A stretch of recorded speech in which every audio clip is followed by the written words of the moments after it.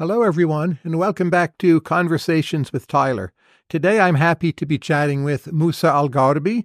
He is a sociologist and assistant professor at Stony Brook, already a very well known public intellectual, and October 8th is the publication date for his new and excellent book, We Have Never Been Woke The Cultural Contradictions of a New Elite.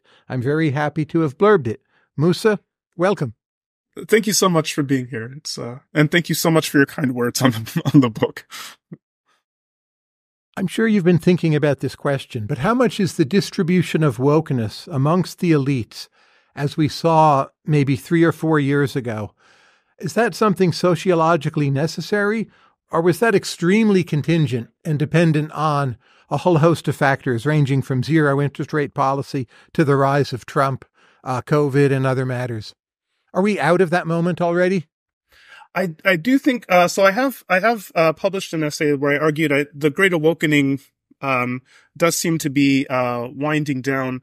Um, in the in the book, I argue um, looking at a lot of different empirical measures uh, and in some of my other published research before the book, but uh, I argue that um, it seems like starting after 2011, um, uh, with race, gender, and sexuality and stuff, but starting a year before that with Occupy Wall Street and things like this.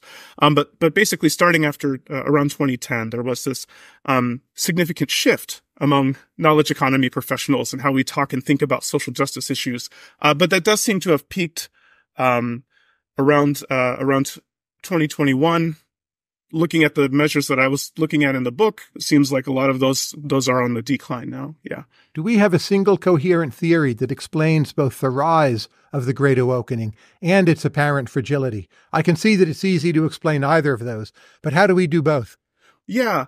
Uh, so in the in the book, um, one of the things that um, I argue in the book that I think is really important for contextualizing the current moment is that uh, this current period of of rapid change and how knowledge economy professionals talk and think about social justice and the ways we engage in politics and all of this. Um, this moment is actually a case of something. As I, as I show in the book, looking at the same kinds of empirical measurements, we can see that actually, um, there were three previous cases of, um, episodes of kind of great awakenings. Uh, uh, and by comparing and contrasting these cases, we can get insight into questions like, why do they come about? Why do they end? Um, do they influence? Do they change anything long term, and so on? And so, to that question, um, kind of why did they come about? Why did they end? Um, it seems like from my from what I what I argue in the book is there seems to be kind of uh, two elements that are important predictors um, for when an awakening uh, might come about.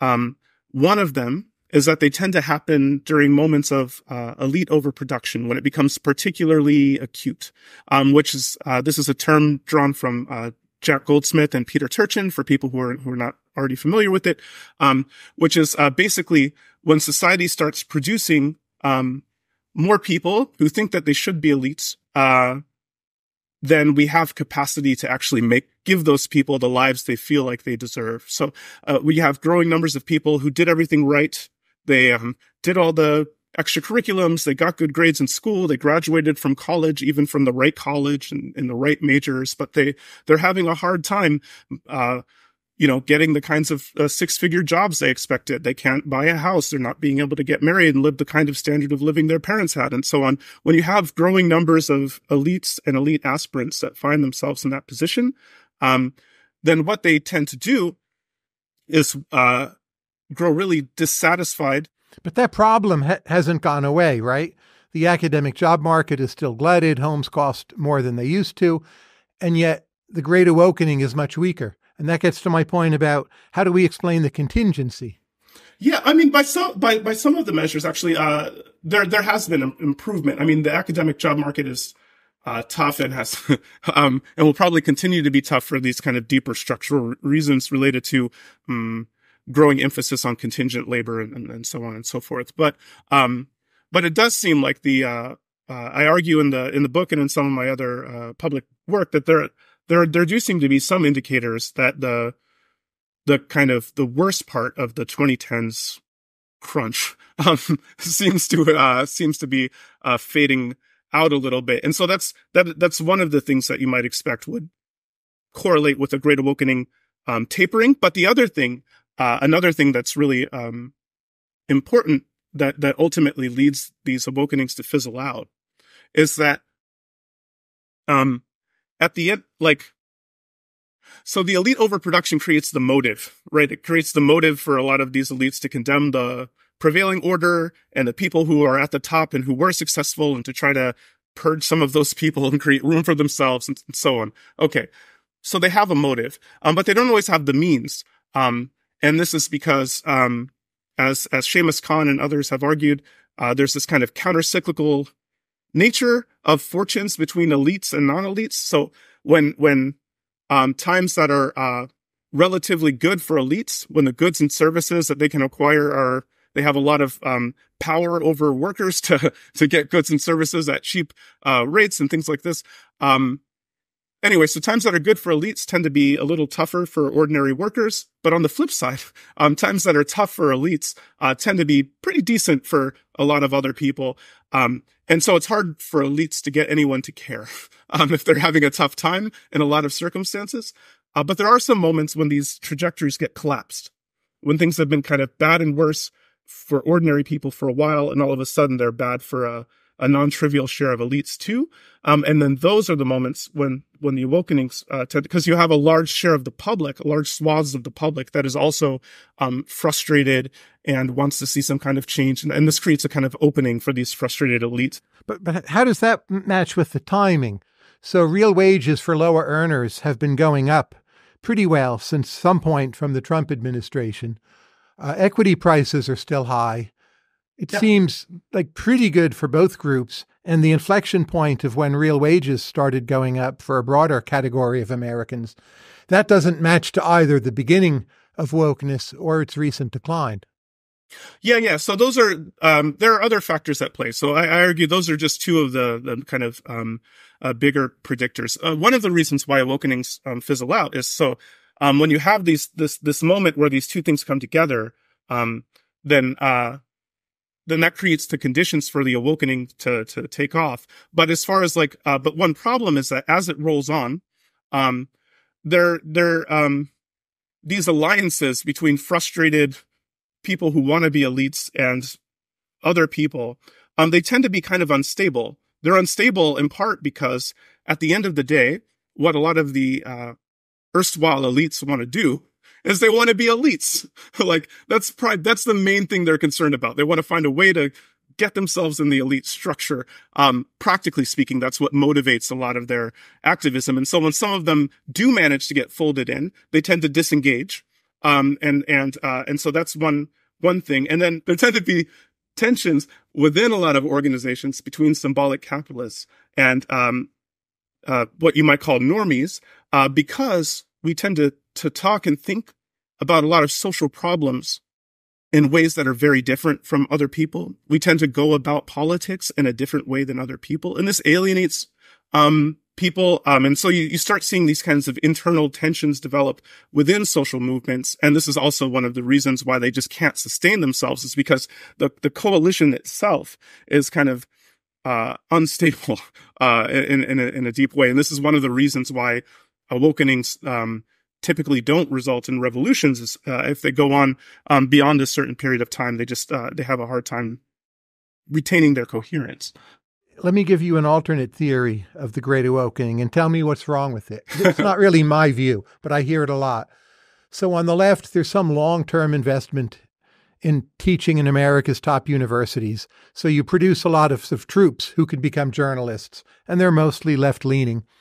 And then 2011, 2012, there's something about the interaction of social media and, say, the New York Times and other major outlets, where all of a sudden they have a much bigger incentive to have a lot of articles about race, gender, Black Lives Matter, whatever.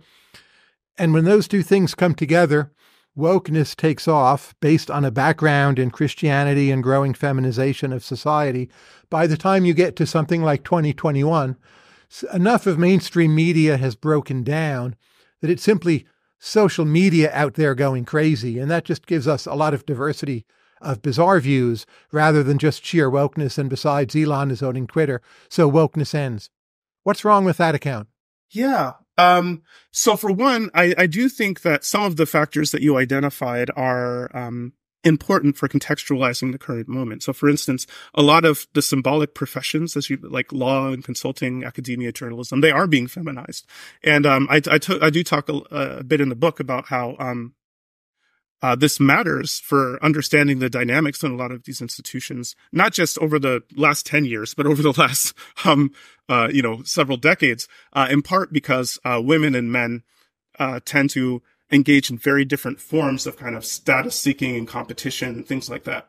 Um, and, uh, so that does matter. Um, things like social media, obviously, um, do change the way interactions play out, but you can see actually that um, things like social media or trend uh, changes in the media landscape after 2010, um, one limitation for using those kinds of uh, explanations to explain the current moment is that it becomes hard then to understand um, how or why it was the case that there were three previous episodes like this, uh, one in the 1920s through the early 30s, one in the mid 1960s to the late 70s, and then one in the late 80s through early 90s. Uh, in all cases where we didn't have social media, where the media, where the structure of media enterprises was importantly different than it is today. Um, and it, before you had you know, Gen Z kids these days with their idiosyncratic attitudes or before a lot of these professions were as feminized as they were today. So I think all of those factors you said actually do matter. And they're actually, they, they actually, they matter in the sense, um, because each of these episodes, you know, they, there's so much in common, like an insane amount. And when you read the book and, and I walk through some of these, like, I think a lot of readers will be troubled maybe by how similar these episodes are, but they're also importantly different. Um, they're, they, they, they don't play out identically. They are importantly different.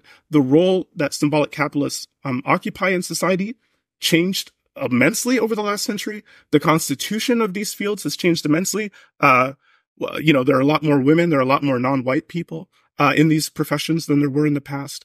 Um, and so on and so forth. So all of those all of those factors you you you described, I think they actually do they do um matter for especially for understanding the ways in which this period of awakening might differ um, from previous episodes, but I don't think they explain why awakenings happen at all. So, if woke recurs, do you think there's a ratchet effect where it comes back bigger and stronger each time, a bit like the destructiveness of war? Or is it more of a random walk, like the next wave of woke in 37 years, you know, might be half as strong as the one we just had? What's your model? Yeah, I think it's it's kind of a, a random walk. That that depends a little bit on. So what I argue in the book is that the um, like so for instance, look at the la- uh, when we look at the last period of awakening in the late '80s and early '90s, um, it was much less um. Uh, that was the last time we had these struggles over political, what they called political correctness then, or PC culture, which, um, which, which we call wokeness today. Um, but, uh, as I argue in the book, it didn't last as long, that, that awakening. It was shorter than most of the others, actually. Um, shorter than the one in the 60s, shorter than the one after 2010. It was a little shorter. Um, and it also wasn't as, quite as dramatic. So I think there are these kind of, uh, contextual factors, uh, that kind of, that, that might, um, that significantly inform, uh, kind of how severe it is or how long it, it lasts, um, how long it's able to sustain itself or, uh, you know, how long it is until the, the frustrated elites get enough of them get satisfied that they disengage. Um, so I think it's more of a, my guess is that it's more of a random walk, but I'm open to persuasion. Why does neuroticism seem to be higher on the political left? Yeah, I think, um, so I think there are a few, uh, so I wrote this article for American Affairs, um, that's called something like how to understand the subjective well-being gap between liberals and conservatives or something like this. There is a lot of research, um, going back decades and across societies and cultures, um, that seems to suggest that, uh, a lot of forms of, of neuroticism and also, um, things like depression and anxiety and uh, other, other things like this, um, do seem to be more pronounced among people who, uh, self-identify with left ideology. The question, um, is, is it something, um, is there some kind of same similar factors that kind of um, drive people towards uh, that kind of predispose people towards um, neuroticism and also predispose them towards leftism? Or is there some way in which progressive ideology might feed into neuroticism? For instance, by, um, so in a lot of, uh, social justice oriented spaces, uh, there's, there's research that white people, um, who, inter- who, when they engage with minorities, white progressives, when they engage with minorities, they shift a lot. They do things like competence downshifting, which is like when white, when white conservatives talk to minorities, they talk about them and you ask them, like, what do you, what's your job? What do you do? What do they, they answer those kinds of questions the same, whether they're talking to a black person or a white person. For, for progressives and liberals, um, if you, when they're talking to a white person, they'll give a, more sophisticated answer about what it is they do and what, you know, but then when they're talking to a black person, even someone who's, who's, um, you know, even when you kind of control class markers and stuff, they, they downshift. They talk in simpler language and they kind of, um, uh, in a way that's kind of patronizing. Um, and, and you see this in a range of studies, uh, that white liberals tend to be more conscious of, um, of race and, and therefore change uh, in a more dramatic way how they engage with non-whites versus whites. And so this kind of rumination, like, oh, am I am I possibly offending someone? Am I am I saying the right thing? What is this person thinking of me? Do they think I'm racist? Do they think I'm a good ally? So there's there is probably a sense in which um, sometimes people internalizing this uh, progressive um, these progressive commitments and really wanting to be a good ally and wondering if they're a good ally and wondering if the people that they're trying to ally with perceive them to be a good ally and stuff like that can, um, can kind of, uh, feed into, um, kind of feed it. So, so it could be that the progressive ideology itself kind of exacerbates, um, uh, neuroticism. Um, or it could be that there's something about, um, if you're already neurotic, um, that could also like just make these kinds of ideologies more attractive to you compared to ideologies where you wouldn't worry about what is this other person. So I don't, you know, I think the relationship there is uh, unclear. It's interesting. Is it a common drivers thing? Is it a, but one thing I will say, um, that I do talk about a little bit in the book is that the symbolic professions, um, in virtue of gatekeeping who becomes part of them by college degrees and, and as a result of other factors, uh, like the socioeconomic, uh, the kind of community symbolic capitalists tend to grow up in, uh, et cetera, et cetera. Um, it, it, it is the case that the people who get folded into the symbolic professions are very, um, tend to think about the social world at all times, even when we're not in periods of awakening. They, they, they tend to, um, have very idiosyncratic, um, kind of psychological profiles and modes of engagement in politics that are very different than most people. We tend to be more ideological in general. Uh, we tend to be more kind of extreme. we're more likely to hold extreme political views. Um, in some ways, we're more do- dogmatic, more conformist. We're very conscientious uh, on the on the positive side. Um, uh, we tend to um, be more cognitively sophisticated, and and so on. And so there are these kind of um, so the professions themselves select for this unusual kind of slice of society to begin with. Uh, and then, um, how that relates to, um, the, the, the, the, views we hold, I think is a really interesting question. Um, and I'm not, I'm not completely sold on an answer yet. how would a great awakening look be different and be different in a Muslim society? Yeah. I mean, one of the things that's interesting is when you, when you, I didn't get a chance to talk about this too much in the book, um, because, uh, you know, space. You can't talk about everything.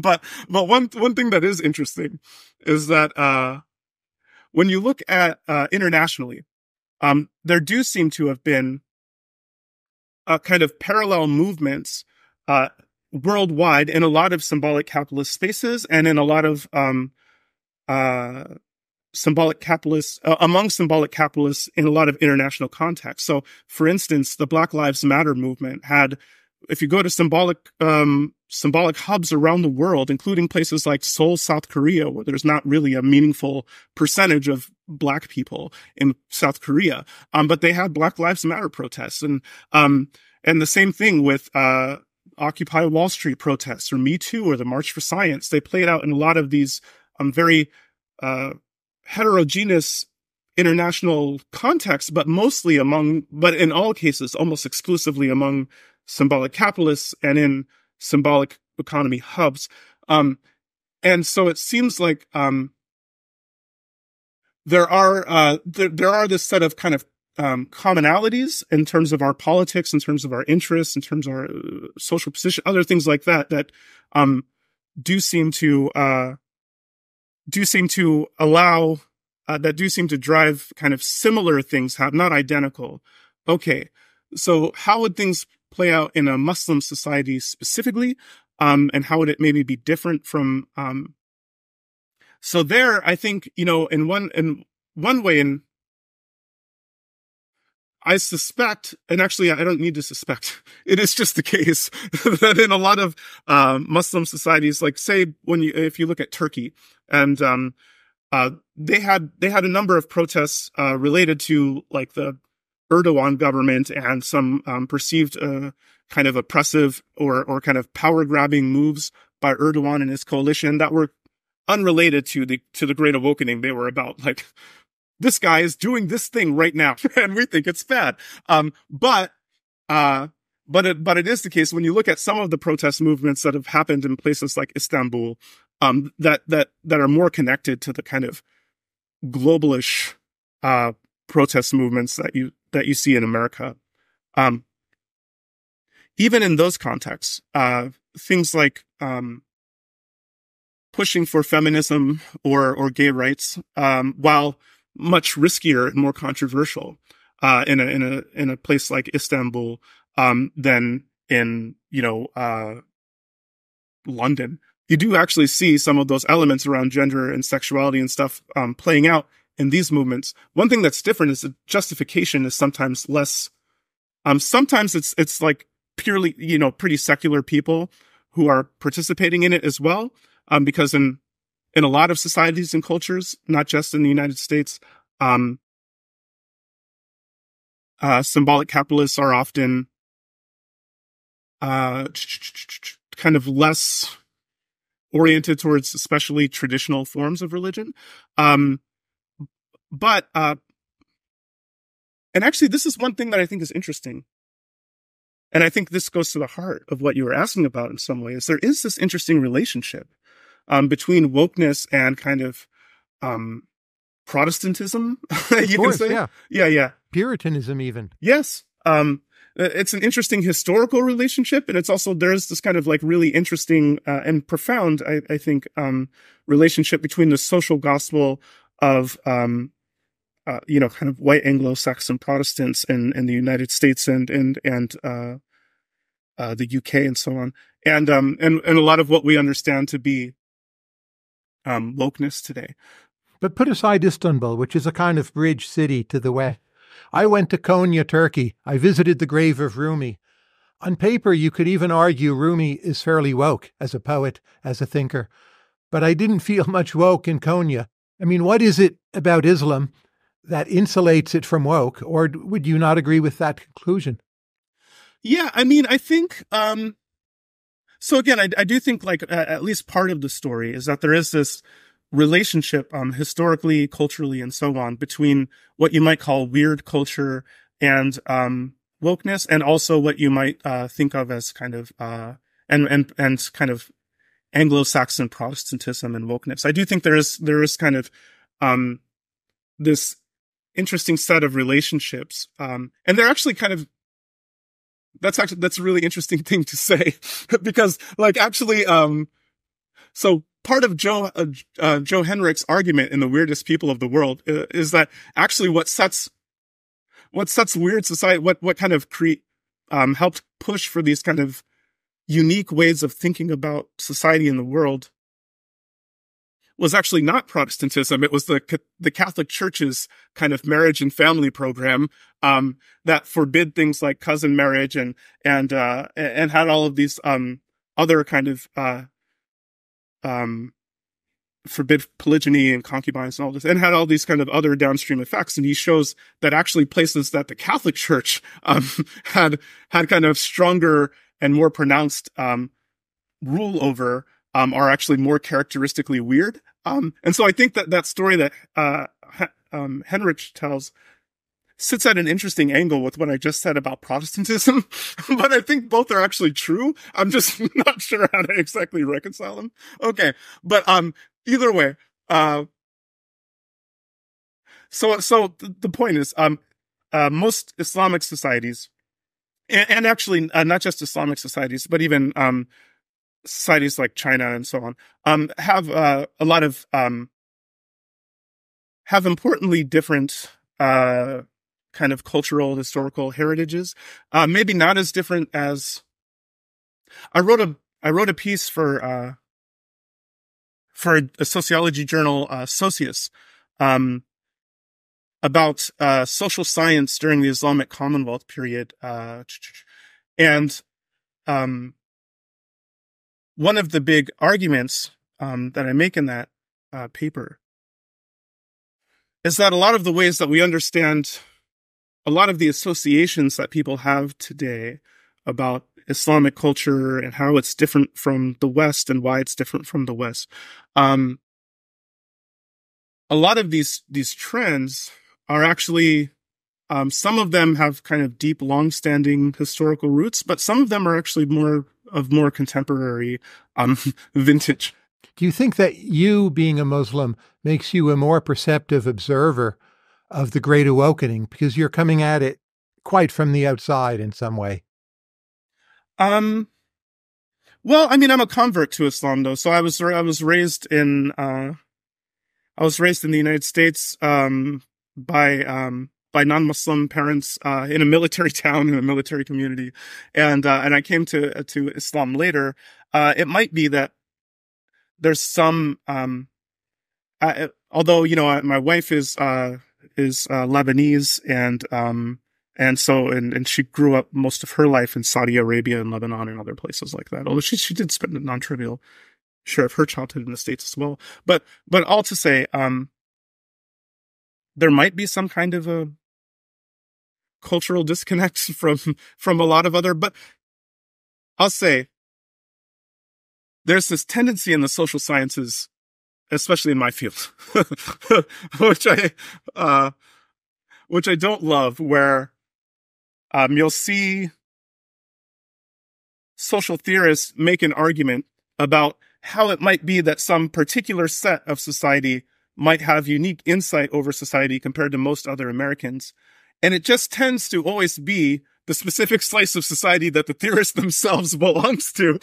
and so it ends up being a story about like, why am I smarter than everyone else? Why can I see things that everyone else but can't I, am see? not a and, Muslim. You might see things I don't, right? No, no. Well, and so here's the thing is I think it's actually true. I think it's actually true that people of, um, with different kinds of life experiences and backgrounds and values and commitments, um, do perceive uh, and reason about the world in sometimes in non-trivially different ways. And this is why I've long been affiliated um, with an organization called Heterodox Academy that that one seeks to, to kind of research on that point, and I've done some research on that point myself. Um, but then also uh, tries to encourage you know institutions to fold in a wider and engage with a, a, wider range of, of thought and perspectives and stakeholders and stuff like this. I actually do think there's there's truth to that broad point that you and I probably do perceive and reason about the world in different ways, in no small part because we have very different life experiences, very different commitments, social ties, social networks, and all of that. That seems perfectly plausible to me. I just don't want to. Um, I have. I just have an aversion to uh, narratives that implicitly or not, uh, uh, or or directly, um, seem to that are, that again that are common in, in my field. Um, that seem to that that argue that there's some subset of people who have like especially acute understandings of the social world rather than the point that I that I made and that I I think you also make which is that we all have actually partially insituated knowledge and by kind of cramming our stuff together we get a really um, we get a much more uh, complete comprehensive um, nuanced understanding of the world. That seems true to me. I don't think it's true though that like you know muslims or people who are um, mixed race in the case of uh, or, or other like depending on what these narratives are um, have some kind of like special insight Am I correct in thinking of you as a black Muslim as opposed to merely a Muslim who is black? Yeah, I think that seems right. Uh, well, yeah, so there is this, um, you know, there's this kind of interesting indigenous uh, culture. It's, so one thing that's interesting, if you look at Islam in America, or you, or you look at a lot of um, a lot of uh, mosques and, and kind of Muslim communities in America are kind of geared around immigrants and the immigrant experience because a lot, a huge share of the Muslim portion in the United States are first, second, um, sometimes third generation immigrants, but people, um, who haven't, um, haven't been in the United, you know, families that haven't been in the United States for as long as, you know, for, for generations, generations and so on. Um, but there is this kind of, um, an exception to that general pattern is that there is a, uh, although Muslims have been in the United States since, since the beginning, I mean, the, the founders were, were writing about Islam and Muslims. Um, in fact, using Muslims as a, as kind of a limit case for tolerism. Like we should be able to even tolerate those people. um, but, uh, um, okay. Uh, but there is something interesting about, um, there's this kind of longer indigenous heritage, uh, more more indigenous, more uniquely American um, heritage of uh, Islam in the in the black community among American descendants of slaves, black community, um, and uh, yeah, and so I think that's interesting. Now, I come at this from a great distance. Obviously, white, not really religious. My impression from a distance is that in the 1970s, uh, Nation of Islam being a black Muslim, it was a quite significant, movement. But since then, it's been dwindling. Is that wrong? Like, set me straight. Like, I know you know more about this than I do. I mean, I don't think it's, I think it's dwindling in the sense that some of the leaders associated with that movement, um, uh, like have been discredited. So even Malcolm X himself, who was one of the key spokespeople for the, um, for the kind of politically oriented arm of of um, kind of uh, black Muslim culture, grew alienated from people like Louis Farrakhan over the course of his life, and came to see people like Farrakhan as corrupt, as preaching this kind of gospel, this kind of anti-white, um, anti-Semitic gospel that's out of step with Islam uh, as, as as he came to understand it when he went on um, on on Hajj and stuff.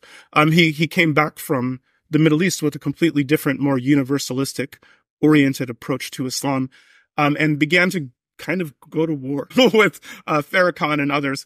And um, and then he was killed. Um, so I think, so I think things like the assassination of Malcolm X and the gradual discrediting of people like, um, Louis Farrakhan have, have made it such that, um, like there's not really a black Muslim uh, political force uh, in like a politically mobilized activist base of uh, of kind of black Islam in the way that there was in the 60s and 70s.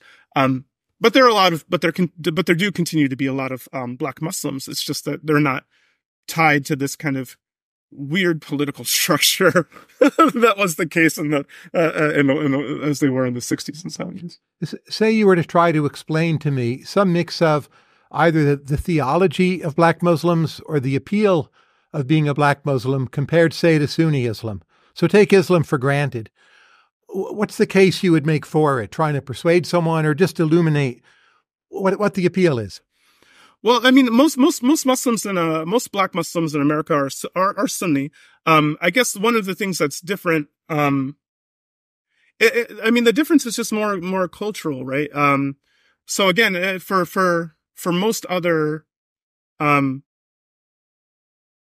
kind of Muslim communities in America, they're just um, they're they're kind of um, interesting mishmashes of of um, in fact a lot of them are actually more specialized so uh, so there are a lot of mosques in America where most of the people who who attend them are are for instance um, Indonesian or where most of the people who attend them are from Pakistan or India, um, or where most of the, you know, and so there are, there is this kind of interesting ethnic sorting. It's not, um, and I, it's actually kind of unfortunate to my mind. and, uh, kind of at odds with the universalistic mes- message of Islam. But you see the same thing in Christian churches in the United States too, right? You have black churches, you have, you have kind of, uh, you have white churches, you have churches with specific subsets of white people, other churches with different, uh, you know, so it goes. It, well, and so I, I think actually if I'm revisiting the initial question, um, I would sort myself as a Muslim who happens to be black rather than a black Muslim. But uh, the reason I, I answered the question the way that I did in the first case is just because um, there's this a deep sense in which I mean, I was because I've been black my whole life, but I've been Muslim for for uh, for a much shorter period of time, uh, about fifteen years now, I think. Um, uh, so, you know, I've um, and so I guess of the of the two identities, um, one of them has a um, has a longer standing association, which is probably why I answered the question I did. But, but now that I understand what you were, what kind of what you were getting at a little bit better from the follow up questions, I guess I would understand myself more of a, a, as a Muslim who happens to be black in the sense that I actually, um, I, I think that, um, there is this kind of long standing, while, while I'm kind of more culturally aligned with like, you know, um, black Muslims in America, just because, you know, again, we, there's a, there's a more, um, uh, a more common set of history and culture and all of this. Um, I do, uh, I, I subscribe to a more kind of universalistic view of, of what we should be striving to do as Muslims to engage with people across faith traditions, across ethnic traditions, and so on and so forth. Uh, I mean, across ethnic lines and so on and so forth, rather than having a kind of parochial, inward looking view at, you know, uh, at, at black people as somehow distinct from everyone else.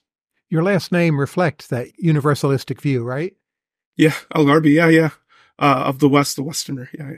And Musa is Moses. Musa is Moses. Why, yes. Why Moses? Um, yeah, I, I'm well, um,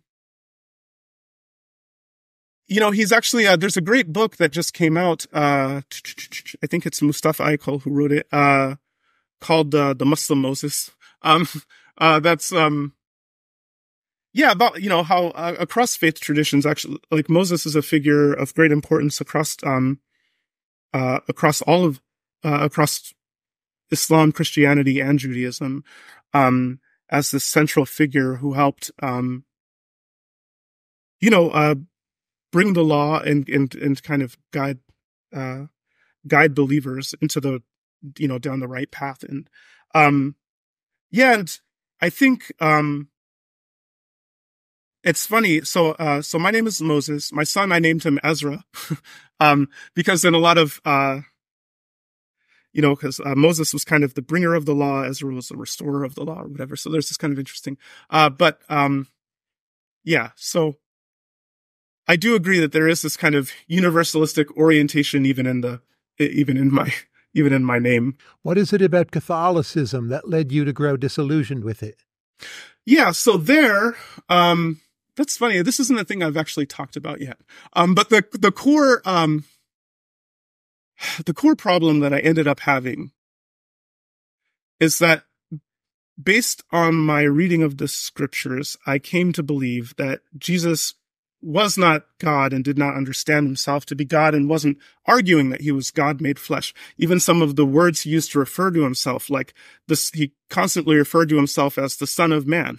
Well, in the Torah, Ezekiel is re- re- repeatedly referred to as son of man, not to indicate that he's God incarnate, but precisely to remind him that he is not, that he is the son of man. and, um, and, uh, so Jesus adopting that term for himself, constantly referring to himself in that way, and so on. Um, anyway, so in, in this and in many other uh, ways, as I was reading the scriptures, I came to believe that Jesus uh, wasn't God. And, and in principle, that's not a way that doesn't rule out Christianity. In the early church, there were a lot of Christians who didn't believe that Jesus was God, who just viewed him as a prophet. Um, uh, but in Catholicism didn't go that route. And, you know, the philosopher Quine, uh, had this theory of, uh, this kind of, um, way of talking about our beliefs. He described them as a web of these kind of inter- interconnected beliefs where some of them are kind of more central and where we, if you kind of tear them out of the thing, it, it, they don't just go by themselves. they pull a lot of other stuff with them. And in the case of, um, as a Catholic, if you reject the idea, um, that Jesus is God, um, uh, that there, if you reject the idea of a trinity of, of, of one God in three persons, um, then that changes a, a lot. It changes the meaning of sacraments like communion. Um, it changes the meaning of just so much. Um, and so there wasn't really a way to reconcile Catholicism, um, with the beliefs I came to hold about, um, Jesus and what his message was and what his intent was. And, um, as I left Catholicism, um, as I became kind of alienated from Catholicism, I gradually came to be alienated from religion writ large and became became a a uh, somewhat militant atheist for a little bit. But but that's what started me down the path. Basically, is I I came to conclude from my study of the scriptures that Jesus probably didn't understand himself to be God, and that as a consequence, the the kind of religious tradition that I had been part of that goes back, you know, millennia, um, and um, and uh, and the the kind of rituals that we participated in that people had been doing around the world for all of this time. And but you could have just become a Jew, right, or or some variant of that. So there's something about the idea of the Quran being a book that is holy on a very different level of all other books. You know, holier in kind than say the Bible. Well, I think um so yeah, so as I was so I was an atheist for a while, but then I had this problem where I kind of rationally convinced myself that religion was garbage and, um, and, uh, there was no God, but I couldn't make myself like feel it. Um, and so this left me in a dilemma where it's like, well, um, I could just say I'm spiritual, but not religious, or I could say, um, but that was kind of intellectually unsatisfying to me and spiritually unsatisfying.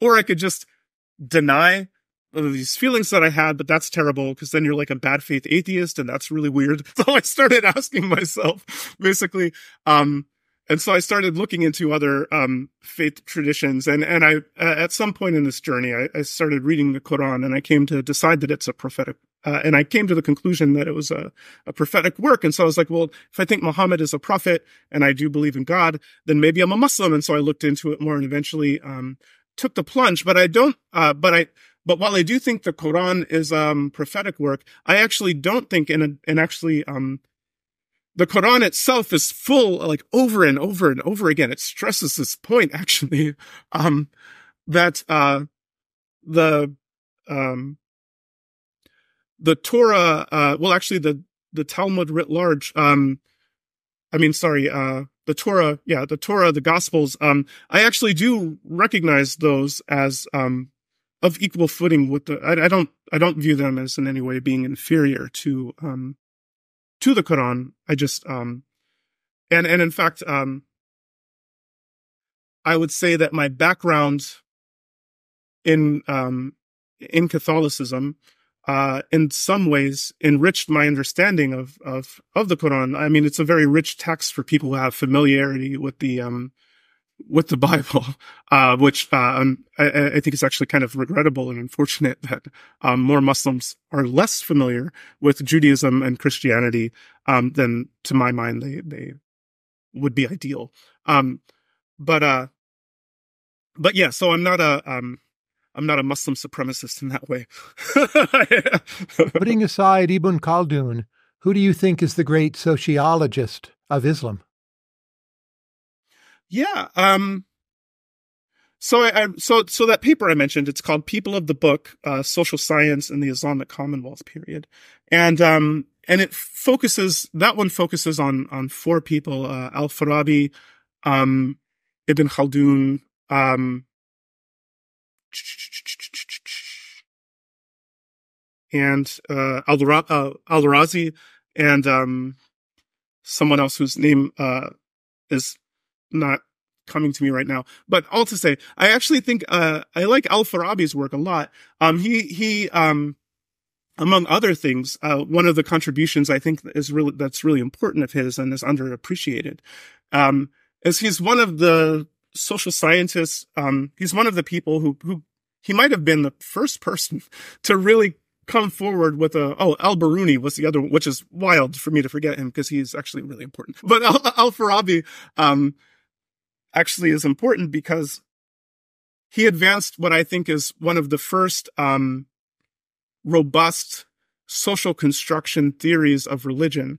Um, and so he tells this uh, really kind of um, rich story to explain why it is that religions have so much commonality, but also like why they're importantly different. And the story he tells, like he's pretty militant in his work or pretty committed in his work to not basing it on scripture, um, uh, to, to kind of go from, um, to make arguments from reason and from kind of looking at the, uh, you know, making observations of the world around him.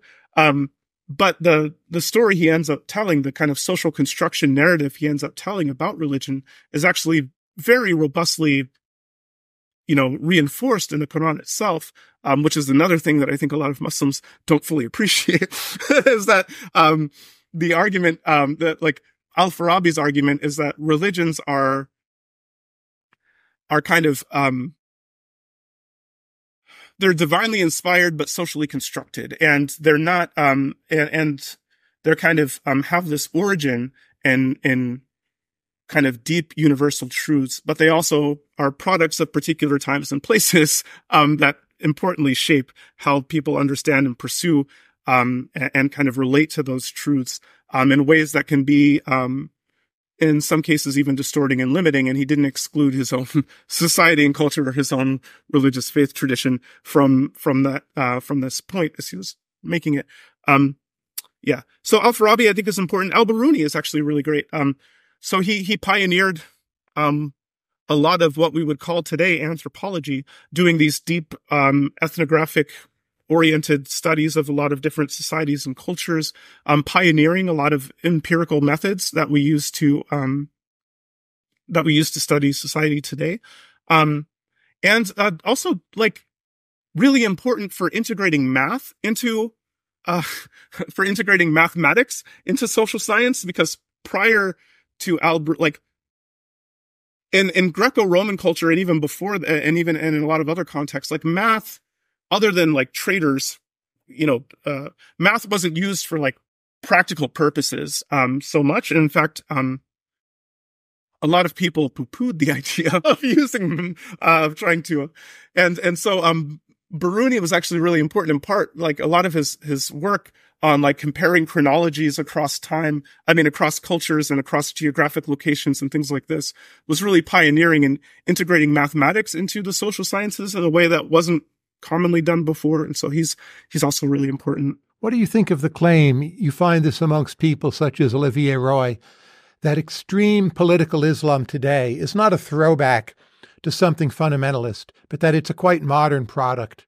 requiring modern technology. And it's this strange creation of the contemporary world as we know it.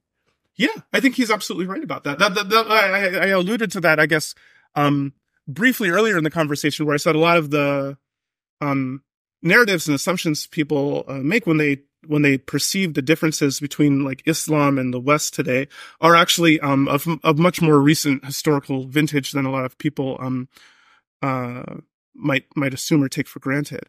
Um, and in fact, uh, prior to uh, prior to that period, there was a lot of like rich interplay between. There were tensions between um, uh, Muslim and Christian societies, you know, going back centuries. Um, but there was also a lot of rich, very rich, um, cultural transmission, interplay, um, and, and so on and so forth as well. Um, and, uh, yeah. So, I mean, there were, there are these kinds of shifts, um, starting in the, uh, late 19th, earliest, early 20th century, especially, um, to things like the kind of, um,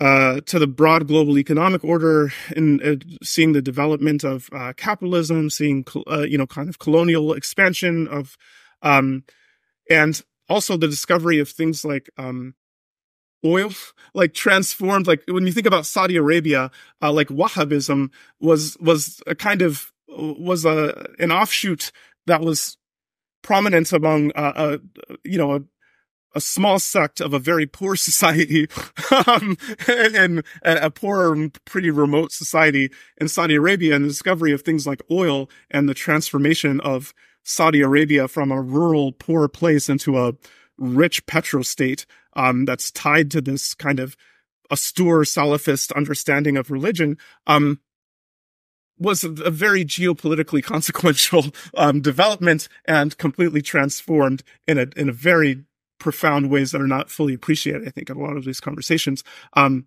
kind of the nature of the kind of polit- geopolitical orientation of Islam uh, in the world.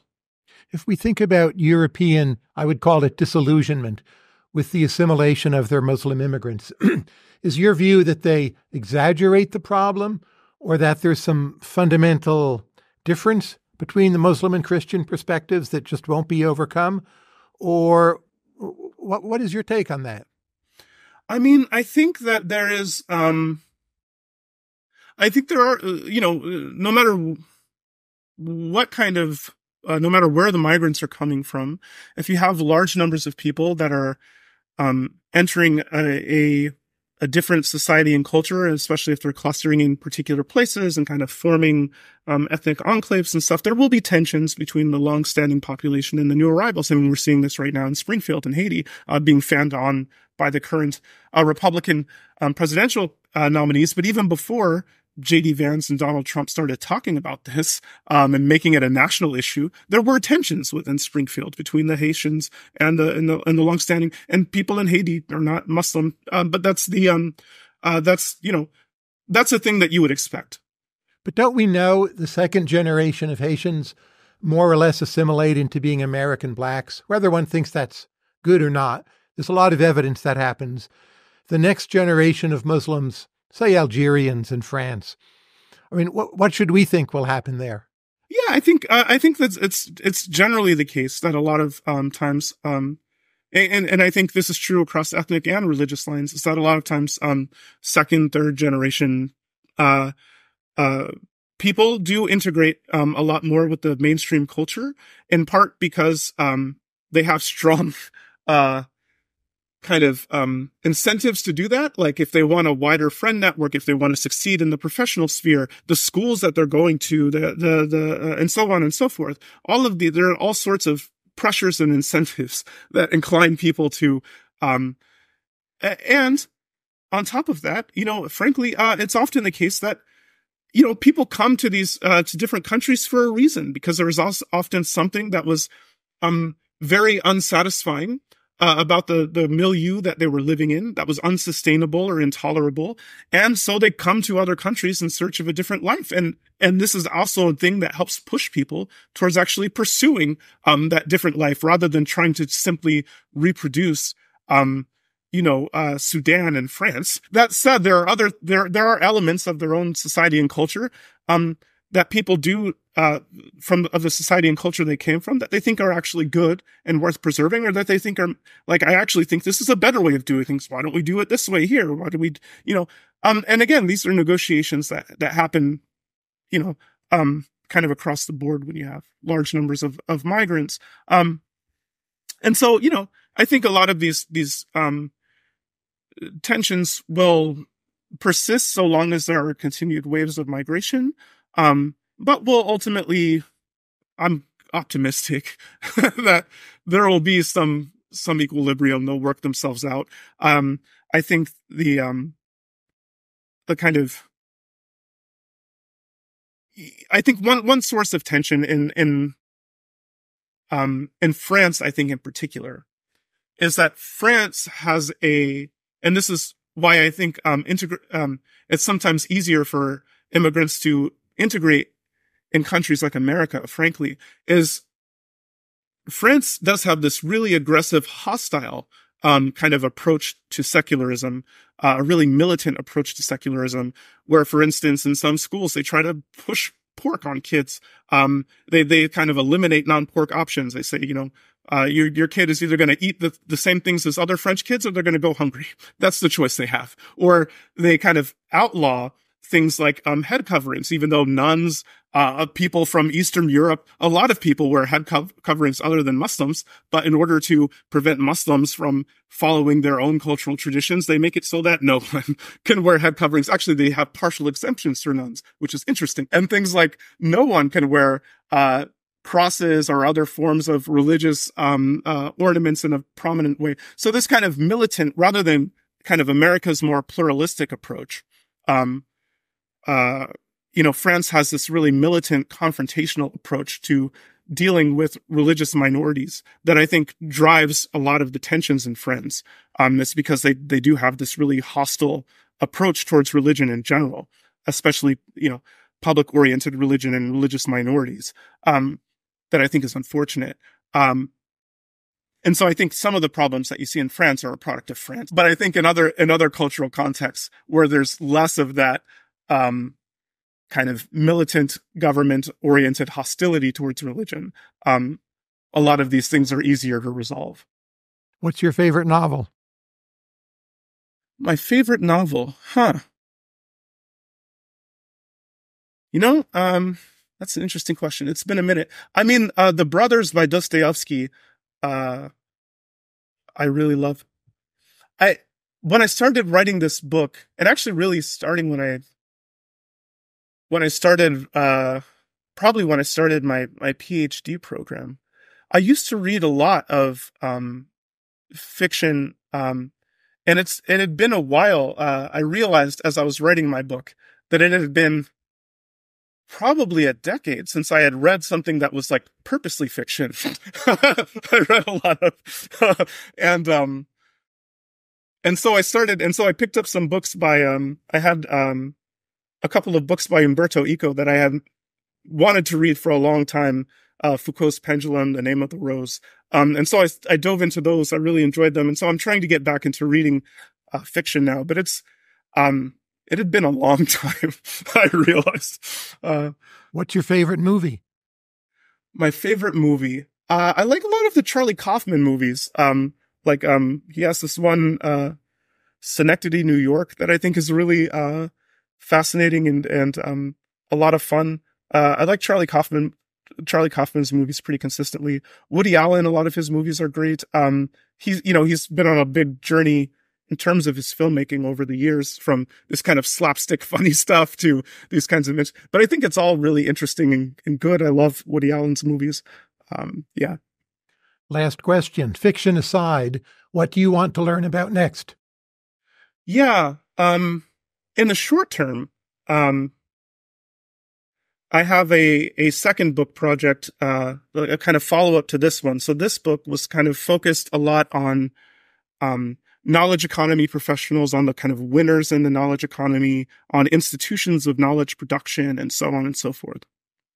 Um, and the initial plan for this book, when I pitched it to Princeton, was that I was going to do like uh, part of the book focused on on us, on symbolic capitalists, the knowledge economy professionals. And then towards the latter end of the book, I was going to kind of turn the analytic lens from the winners in the knowledge economy to people who perceive themselves to be the losers, people who are more sociologically distant from us, who work, who provide physical goods and services to people, who um, live in smaller towns, more rural areas, and so on and so forth. Um, and uh, it proved untenable to do that in the space of one book. In fact, even this book, even when we split it into two books, it was, um, it still took a little bit of, uh, um, cutting and polishing to get it into uh, the state it's in today. Um, and so the second book, what I'll be thinking about for the next, for the next, uh, couple of years, um, are, are going to be people who are more, more sociologically distant from knowledge economy professionals and trying to look at the struggle between us and them and to understand it in a in a deeper way. I mean, I've done some provisional work and I do have a lot of um you know, pretty tight content um for the second book and I'll be sh- shopping it out to publishers after we see how well this one does or not. But um but I'm going to be doing of course a lot of research and thinking about um about these tensions in the in the near future and that'll be kind of occupying my brain space I think. Again, I'm a fan of Musa's new book, We Have Never Been Woke The Cultural Contradictions of a New Elite. Musa Al Gharbi, thank you very much. Thank you for, for having me. It was a real fun conversation.